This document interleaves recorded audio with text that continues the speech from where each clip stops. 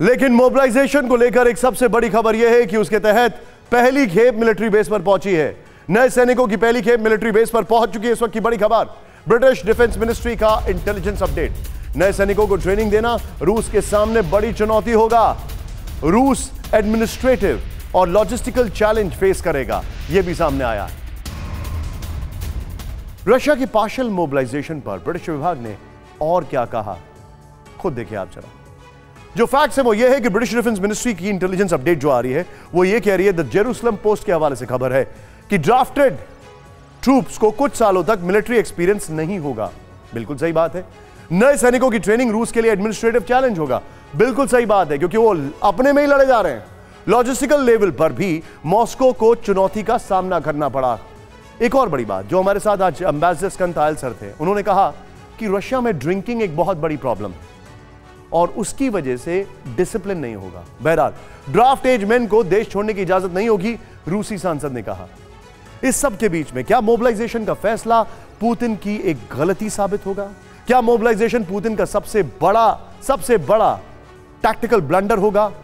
क्या मोबिलाइजेशन के ज़रिए पुतिन का माइंड गेम डेगिस्तान जैसे प्रांतों की माइनॉरिटीज को टारगेट करना है? यह सब हम क्यों कह रहे हैं? क्योंकि खेरसौन और जेपोरेजिया में भी उनको भेज दिया गया है ड्राफ्ट कि वो आ जाएँ फौज के अंदर। रूसी फौज के अंदर, जो रशियन पासपोर्ट होल्डर्स हैं। इस रिपोर्ट में देखते हैं एक एक खबर का खुलासा।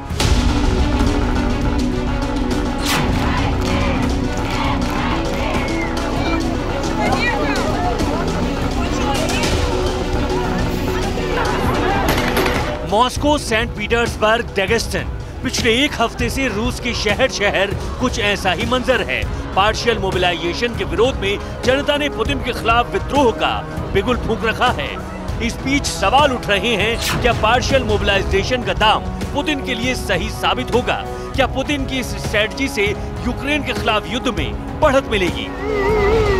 हम आपको बताने जा रहे हैं कि पुतिन के इस दाव का परिणाम क्या होने वाला है? पार्शियल मोबिलाइजेशन पर द कन्वर्जेशन की रिपोर्ट के मुताबिक वॉर फ्रंट पर अनट्रेंड बुज़ुर्ग और कमज़ोर लोग बढ़ जाएँगे। बैटलफील्ड में अराजकता होगी और संभावित नरसंहार होगा। इस फैसले का नतीजा ये होगा कि पुतिन के घमंड के चक्कर में कितने ही रूसी और यूक्रेनी बेवक्त मौत के मुँह में चले जाएँगे। हालाँकि मोबिलाइजेशन के फैसले का एक दूसरा पहलू भी है।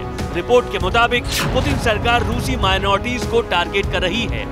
ब्यूरेट्स और डेगस्टीनियंस को टारगेट किया जा रहा है। डेगस्टन रूस का मुस्लिम जनसंख्या वाला क्षेत्र है। बाकी देश की तुलना में यहाँ के लोगों ने युद्ध में ज़्यादा जान गंवाई है।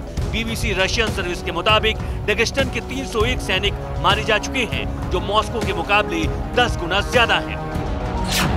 पुतिन ने जानबूझकर एलीट क्लास को मोबिलाइजेशन से छूट दी है, क्योंकि अगर उन्होंने युद्ध का विरोध किया तो रूस मुश्किल में पड़ जाएगा, क्योंकि एलीट क्लास में ज़्यादातर ऐसे परिवार हैं, जिनके बच्चे आगे चलकर नेक्स्ट जनरेशन के ब्यूरोक्रेट्स होंगे सात महीने बाद पुतिन ने यूक्रेन युद्ध में मोबिलाइजेशन की टैक्टिक्स क्यों अपनाई, उसकी दो बड़ी वजह हैं। पहली ये कि रूसी कट्टरपंथी ज़्यादा से ज़्यादा सपोर्ट की मांग कर रहे हैं ताकि जल्द युद्ध को किसी अंजाम तक पहुँचाया जा सके।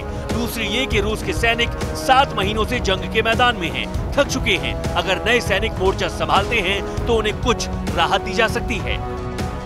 सवाल यही है क्या पुतिन से बहुत बड़ी गलती हो गई है?